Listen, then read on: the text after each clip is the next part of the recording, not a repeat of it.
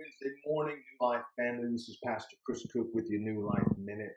And I remember back in 10th grade, I went to a, high school in Texas and I had a coach as a teacher, and he would make you sing George Strait if you were late to his class. And uh, I never have forgotten uh, the, the lyrics to the song Carrying Your Love with Me or Write This Down little did I know I would become a George Strait fan later in life. But anyway, I've learned this that it is better to be punctual. It's better to be on time. Matter of fact, my dad always told me if you're on time, you're late.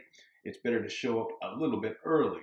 And it made me think about this parable of the 10 virgins. Man, there's so much that you can get out of it.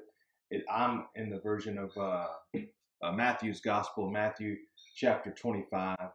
And there is a lot going on in this passage, but I'll try to sum it up for you. You have five wise maidens or virgins, and then you have five foolish virgins. Now, the wedding supper it, that they're waiting for obviously is the coming of the Lord Jesus Christ, right? The kingdom of God uh, is coming to physically manifest. But what is the oil? You know, five didn't have enough oil to make it through the night and five did.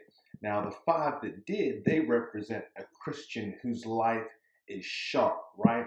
They are doing good works. They are their faith is active in Christ. They are full of the Holy Spirit, and they're doing this thing and they're walking with the Lord. But then you have people who, uh, the five foolish ones, maybe they have claimed Christ in the past, but they're not walking with Him. They're not full of the Holy Spirit. They're not full of the Word of God.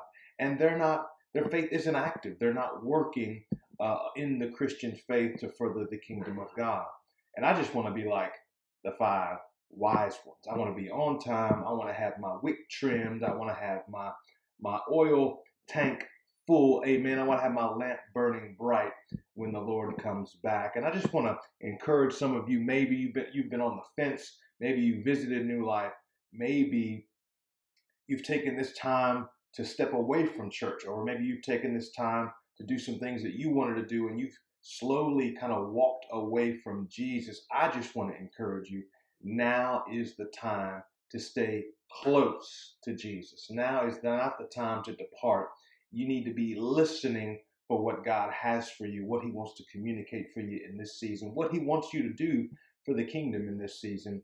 It is such an important time. So check that out. Matthew chapter 25, the first 13 verses, I believe it is. You will be blessed. And guess what? When we start having meetings again, come on, I want to see some people showing up on time. Praise God. I hope you have an incredible Wednesday. God bless you.